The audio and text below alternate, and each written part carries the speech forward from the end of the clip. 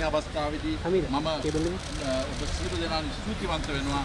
උත්තරම් වෙන තිස්පත් අද මාත් එක්ක ඇවිල්ලා මේ වගේ අමාරු අවස්ථාවක අපිත් එක්ක එකතු වෙන එක මම මේ තීන්දුව ආඩම්බරෙන් ගත්තේ මට පෙන්වන්න අවශ්‍යයි. අනිත් අයට මට කරන්න පුළුවන් නම් ඇයි ඒගොල්ලන්ට බැරි වන්නේ කියලා. ඉතින් මම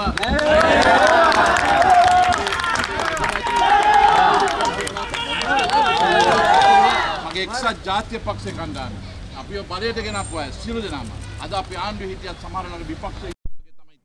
අපි දැන් එකතු වෙලා අපේ සැබෑ ආණ්ඩුවක් ජනතාව වෙනුවෙන් අපි ඇති කරලා ඉදිරියට මේ ජනාධිපතිත් අගමැතිත් සමග මේ එක්සත් ජාති පක්ෂ ඉදිරියට ගෙනියන්න ඕනේ කියන එක මම මේ අවස්ථේ මතක් කරනවා. මම මේ කැපවීම කරේ අන්නේ අහිංසක අද දුකින් සිටින ජනතාවට නෑ අලුත් දවසක් තියෙනවා කියලා කියන එක තමයි මම ඒකෙන් පෙන්නුවේ. ඉතින් අපි ඉදිරියට ගමන් කරමු.